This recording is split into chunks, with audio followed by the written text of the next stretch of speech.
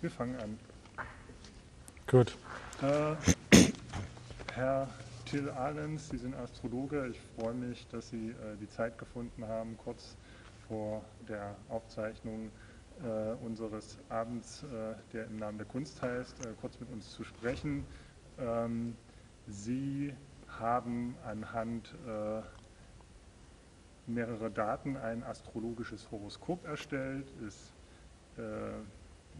Sie brauchen dazu ein Datum. Das Mhm. Datum ist der 10. April 1917 um 17 Uhr und das war der Tag der Eröffnung einer Ausstellung, in der Marcel Duchamp äh, ein Urinal ausgestellt hat. Das wird Mhm. als Geburtsstunde der modernen Kunst bezeichnet.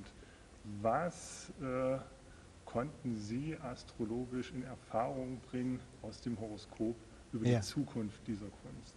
Ja, also ich freue mich auch erstmal sehr, dass ich hier sein kann heute und äh, ein paar Worte zu diesem Thema sagen kann. Und äh, besonders natürlich, äh, dass ich hier über die Astrologie sprechen kann und diesen astrologischen Blickwinkel hier ein bisschen vermitteln kann.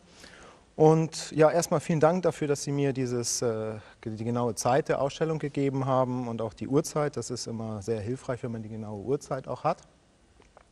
Und das äh, erstmal ganz Spannende ist, dass wir hier einen vage Aszendenten haben, der also zum Zeitpunkt der Eröffnung stellvertretend für diese gesamte Ausstellung und auch wenn wir das als Horoskop sehen, wirklich für diese gesamte Epoche, ähm, dann heißt das erstmal vage Aszendent hat mit Kunst zu tun, mit Ästhetik, mit äh, Harmonie, mit allen schönen Dingen. Und das ist eine sehr treffende Sache. Das ist also, spiegelt das sehr gut wider.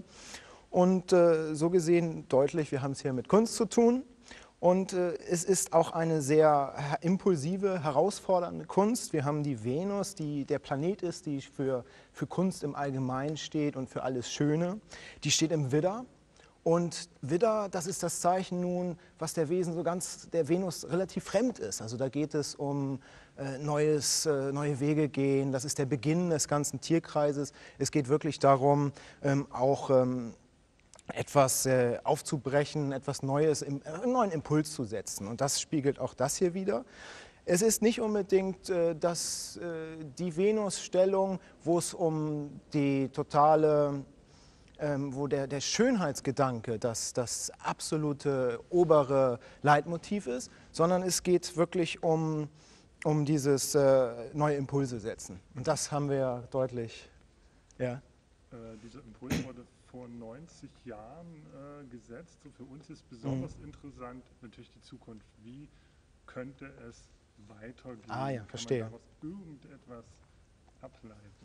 Ja, da kann man, denke ich, eine ganze Menge ableiten. Erstmal ist es natürlich schwierig, wenn man über Kunst allgemein redet, weil ich äh, in der, während der Vorbereitung zu dieser Sendung gesehen habe, es gibt wirklich viele, viele Kunststile, die im, im letzten Jahrhundert entstanden sind.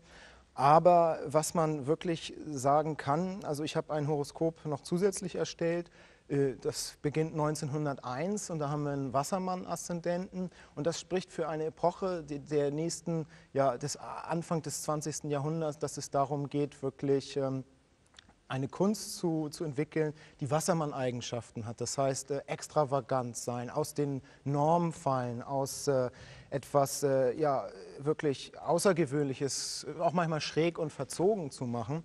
Und wenn wir jetzt zur Zukunft kommen, wirklich die nächsten Jahre, dann denke ich, dass wir einen großen Wandel in den, in den Kunststilen und in allgemein in der modernen Kunst wohl, wohl äh, erwarten können. Es, es wird auch eine schwierige Zeit werden. Es hat auch sicherlich mit dieser Weltwirtschaftskrise zu tun.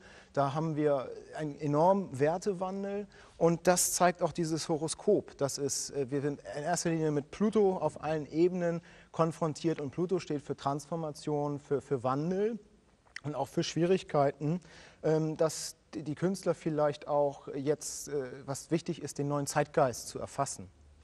Ja. Äh, Warum 1901? Sie sagten, Sie hätten ein zweites Horoskop Ja. gemacht. Was 1901, äh, was war das für ein Ereignis? Das ist erstmal ähm, ein Horoskop, was auf New York erstellt wurde, um so diesen Zeitgeist zu erfassen, was in, in, in ähm, äh, New York alles als Thema angelegt ist für die nächste Zeit. Und da kann man deutlich sehen, dass also ähm, große, also mit der Tradition brechen ein großes Thema sein würde, speziell im, im, künstlerischen Sinne. Und wahrscheinlich auch nicht nur, das ist wahrscheinlich auch nicht nur geschehen äh, in, in wirklich Darstellen oder äh, Malerei, sondern in, in den verschiedensten kreativen Bereichen. Und es sind, soweit ich das weiß, äh, sehr viele neue Kunststile entstanden Anfang des 20. Jahrhunderts. Wird es eine gravierende Änderung geben in der Zukunft, also äh, dass man zum Beispiel mhm. die Moderne verwirft und sagt, das war ein Fehler, irgendwann äh, zum Beispiel mal nicht mehr gegenständlich zu malen? Konnten Sie sowas mhm. sehen? Also gibt es irgendwie ein besonderes Ereignis? Ich denke, Kunst ist immer im Wandel und äh, was ich prognostiziere für die Zukunft ist, äh, dass ich denke, dass die Kunst, wie sie jetzt in den letzten 100 Jahren gemacht wurde, ähm, unter dem Wassermann-Zeichen stand. Also äh, Dinge nicht mehr realitätsnah darzustellen, sondern auch verzogen, ähm, ausgefallen, mit, mit abstrakten Ideen. Und äh, dass es in der, in der Zukunft mehr Richtung Fische wieder geht.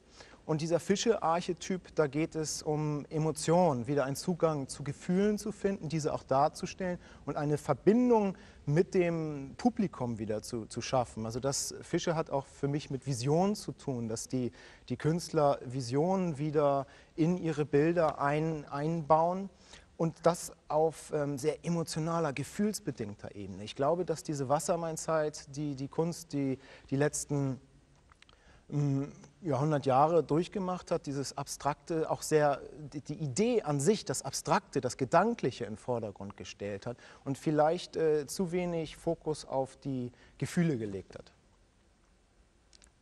Gut. Herr Ahrens, ich danke Ihnen. Ja. Recht herzlich. Danke auch. Für die kleine Darstellung. Schönen Dank.